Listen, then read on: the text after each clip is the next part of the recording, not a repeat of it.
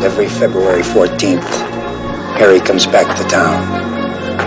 His pickaxe stained with blood, waiting in the shadows of the Hanniger mine just for someone to kill.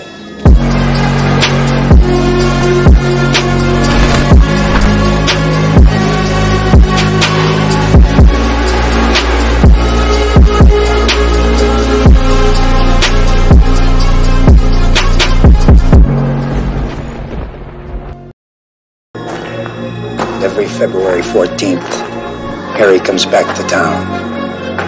His pickaxe stained with blood, waiting in the shadows of the Hanniger mine just for someone to kill.